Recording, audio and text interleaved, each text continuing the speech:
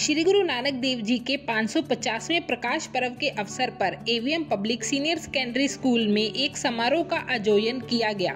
Director Rajiv Kumar के नेतृत्व में स्कूली छात्रों ने ह्यूमन चेन बनाई और श्री गुरु नानक देव जी के संदेश को अपनाने का प्रण लिया। लवली ने बताया कि श्री गुरु नानक देव जी ने सामाजिक बुराइयों के विरुद्ध एकता का संदेश दिया और आज वक्त उनके संदेश पर चलने और समाज और देश की तरक्की सुनिश्चित करने का है। ਜਿੱਥੇ ਦੁਨੀਆ ਭਰ ਦੇ ਵਿੱਚ ਸ੍ਰੀ ਗੁਰੂ ਨਾਨਕ ਦੇਵ ਜੀ ਮਹਾਰਾਜ ਦਾ 550ਵਾਂ ਪ੍ਰਕਾਸ਼ ਪੁਰਬ ਬਹੁਤ ਸ਼ਰਧਾ ਤੇ ਉਤਸ਼ਾਹ ਨਾਲ ਮਨਾਇਆ ਜਾ ਰਿਹਾ।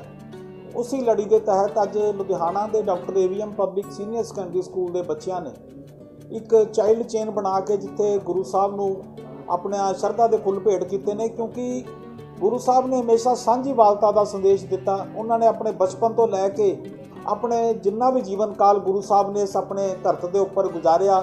ਲੋਕਾਂ ਨੂੰ ਸੰਦੇਸ਼ ਦਿੱਤੇ, ਉਦਾਸੀਆਂ ਕੀਤੀਆਂ। ਗੁਰੂ ਸਾਹਿਬ ਨੇ ਹਮੇਸ਼ਾ ਜਿਹੜਾ ਸਾਂਝੀਵਾਲਤਾ ਦਾ ਉਪਦੇਸ਼ ਦਿੱਤਾ, ਉਹ ਅਸੀਂ ਬੱਚਿਆਂ ਨੂੰ ਅੱਜ ਉਹਨਾਂ ਦੇ ਗੁਰੂ ਸਾਹਿਬ ਦੀ ਬਾਣੀ ਤੋਂ ਜਦੋਂ ਅਸੀਂ ਜਾਣੂ ਕਰਵਾਉਂਦੇ ਆ ਤੇ ਮੈਂ ਸਮਝਦਾ ਵੀ ਇਹ ਬੱਚਿਆਂ ਨੂੰ ਸਾਡੇ ਸਕੂਲਾਂ ਵਾਲਿਆਂ ਦੀ ਜ਼ਿੰਮੇਵਾਰੀ ਬਣਦੀ ਆ ਵੀ ਜਿਹੜਾ ਸਾਡੇ ਧਾਰਮਿਕ, ਸਾਡੇ ਵਿਸ਼ੇ ਨੇ, ਉਹ ਕਿਤੇ ਨਾ ਕਿਤੇ ਅਸੀਂ ਚਾਹੇ ਇੱਕ ਹਫ਼ਤੇ ਦਾ ਇੱਕ ਅਸੀਂ ਪੀਰੀਅਡ ਉਹਨਾਂ ਨੂੰ ਬੱਚਿਆਂ ਨੂੰ ਦਈਏ, ਆਪਣੇ ਵਿਰਸੇ ਬਾਰੇ, ਆਪਣੇ ਧਰਮ ਦੇ ਬਾਰੇ ਬੱਚਿਆਂ ਨੂੰ ਜਾਣੂ ਕਰਵਾਈਏ, ਕਿਉਂਕਿ ਜਿਹੜਾ ਭਾਰਤ ਦੇਸ਼ ਹੈ, ਉਹ ਇੱਕ ਸਾਡਾ ਜਿਹਨੂੰ ਕਹਿ ਦਈਏ ਮਲਟੀ ਕਲਚਰ ਇੱਕ ਮੁਲਕ ਹੈਗਾ ਹੈ।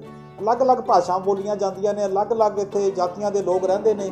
ਲੇਕਿਨ ਇੱਕ ਜਿਹੜਾ ਸਿੱਖ ਧਰਮ ਆ, ਉਹ ਨਵੇਕਲਾ ਧਰਮ ਆ, ਕਿਉਂਕਿ ਗੁਰੂ ਸਾਹਿਬ ਨੇ ਹਮੇਸ਼ਾ ਜਿਹੜੀ ਸਾਂਝੀਵਾਲਤਾ ਦਾ ਉਪਦੇਸ਼ ਦਿੱਤਾ ਸੀਗਾ, ਉਹਦੇ ਵਿੱਚ ਕਿਹਾ ਸੀ ਗੁਰੂ ਸਾਹਿਬ ਨੇ ਵੀ ਗੁਰੂ ਦੀ ਗੋਲਕ ਗਰੀਬ ਦਾ ਮੂੰਹ। ਕਹਿਣ ਤੋਂ ਭਾਵ ਕੀ ਸੀ, ਲੰਗਰ ਔਰ ਪੰਕਤ ਦੀ ਜਿਹੜੀ ਆ ਨਿਰੰਤਰ ਜਿਹੜੀ ਗੁਰੂ ਸਾਹਿਬ ਨੇ ਇੱਕ ਘਾਲਣਾ ਕੱਲੀ ਸੀ, ਉਹਨੂੰ ਅੱਜ ਵੀ ਸਾਡੇ ਗੁਰਦੁਆਰਾ ਸਾਹਿਬਾਂ ਦੇ ਵਿੱਚ ਉਸ ਚੀਜ਼ ਨੂੰ ਨਿਰੰਤਰ ਜਾਰੀ ਰੱਖਿਆ ਗਿਆ। ਔਰ ਮੈਂ ਸਮਝਦਾ ਵੀ ਜਿਹੜਾ ਸੰਦੇਸ਼ ਗੁਰੂ ਸਾਹਿਬ ਨੇ ਦਿੱਤਾ ਸੀਗਾ ਔਰ ਅੱਜ ਤੋਂ 70 ਸਾਲ ਪਹਿਲਾਂ ਜਦੋਂ ਮੁਲਕ ਆਜ਼ਾਦ ਹੋਇਆ ਤਾਂ ਸਾਡੇ ਕੁਝ ਗੁਰੂ ਧਾਮ ਜਿਹੜੇ ਆ ਉਹ ਲਹਿੰਦੇ ਪੰਜਾਬ ਵਾਲੇ ਪਾਸੇ ਸਾਡੇ ਚਲੇ ਗਏ ਸੀ ਜਿਨ੍ਹਾਂ 'ਚ ਇੱਕ ਸਾਡੇ ਗੁਰੂ ਨਾਨਕ ਸਾਹਿਬ ਦਾ ਜਿਹੜਾ ਜਨਮ ਸਥਾਨ ਉਹ ਵੀ ਉੱਥੇ ਰਹਿ ਗਿਆ ਸੀਗਾ ਤਾਂ ਅਸੀਂ ਨਿਰੰਤਰ ਅਰਦਾਸਾਂ 'ਚ ਬੇਨਤੀ ਕਰਦੇ ਸੀਗੇ ਵੀ ਗੁਰੂ ਸਾਹਿਬ ਉਹ ਦਿਨ ਦਿਹਾੜਾ ਆਵੇ ਜਦੋਂ ਅਸੀਂ ਆਪਣੇ ਗੁਰੂ ਧਾਮਾਂ ਦੇ ਦਰਸ਼ਨ ਕਰ ਸਕੀਏ ਦਰਸ਼ਨ ਦਿਦਾਰੇ ਖੁੱਲੇ ਹੋ ਸਕਣ ਲੇਕਿਨ ਦੋਹਾਂ ਸਰਕਾਰਾਂ ਦੇ ਅਸੀਂ ਧੰਨਵਾਦੀ ਹਾਂ सीवा न्यूज के लिए लुधियाना से प्रदीप भंडारी की report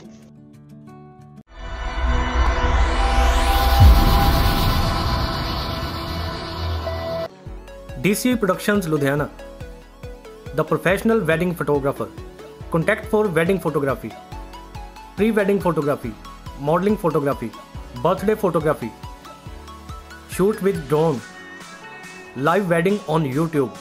DCA Productions Ludhiana. The professional wedding photographer